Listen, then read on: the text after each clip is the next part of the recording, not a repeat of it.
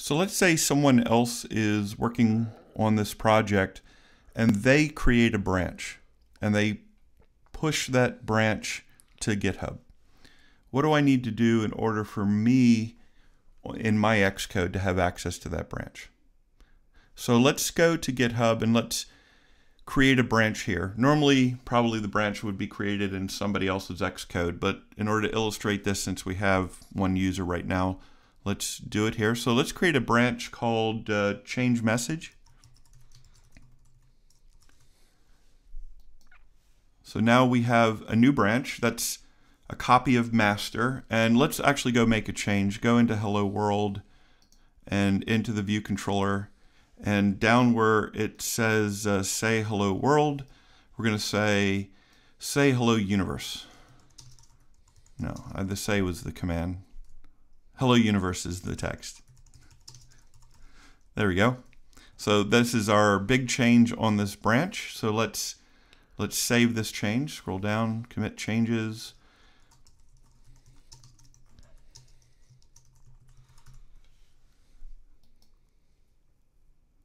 So this branch, change message, if we go back to Xcode and we were to go up to source control and we said, uh, you know, switch to branch, it wouldn't be available to us. So how do I, Sean, get access to this branch? So to get access to this branch, you can use the command line.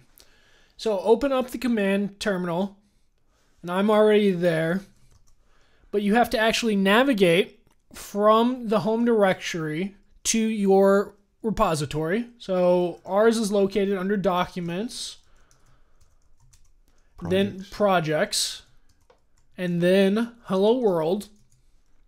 Once there, we need to run a git command. And that git command is git fetch dash dash all. What this is saying is that we want to fetch all changes that exist on GitHub, including branches. I'm going to run this command right now. Notice that it says fetching origin, and you could think of that as the repository. And it even tells you what happened. New branch. So we now actually, and if I close this window, now go up to source control, master, switch branch, we now actually see change message in the origin and we can even then switch to that branch. So let's so, let's go ahead and switch because right now we don't actually have a local copy of that. It's only on Origin. Exactly. So it knows that this branch exists on Origin, but we don't actually have a local copy of it. If we had a local copy of it, it would be up here in local branches. So when I switch to this branch, it will actually switch to that branch and also create a local copy thereof. And, and let's and let's verify that. Um, go up and look and see that if we say switch to branch, it's now both in the local and the origin branches. So there's our hello universe, which you were about to point out. And this is now in a branch and it's not in master. Let's one more time show how we do a pull request and then merge it into master. So I'm going to navigate back to hello world in our GitHub repository. We have our new recently pushed branch Let's compare and pull request, or we could have done new pull request right there. But doing this compare and pull request will automatically have our compare as change message. With that, it says update say message because that was our commit message. We could also name that as the branch or something that describes our changes thereof. If I navigate down, we can notice our changes.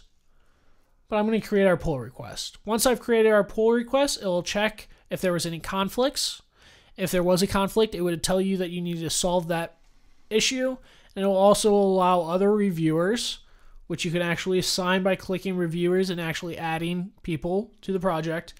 Once they say, yes, it looks good, you can then click merge pull request, confirm merge, and notice it's saying I can delete branch if I would like. I'm going to navigate back to hello world, go to hello world, hello world view controller and will now say hello universe and branch master. And so master doesn't know that about currently in Xcode on my own local repository. So we are currently in which branch? If so we go to source control, we're in change message. Let's switch to branch master. We can see it still says say hello world, but we know that we had merged on the server, so we're going to do a pull request. Not a pull request, a pull. Oh, sorry, a pull, right, right. Very good. There's a difference between a pull and a pull request. So let's restate that. A pull is when I literally pull the updates from the server. A pull request is like saying to other people, go check this out. Exactly. So with that, I'm going to put push pull. And now it says hello universe.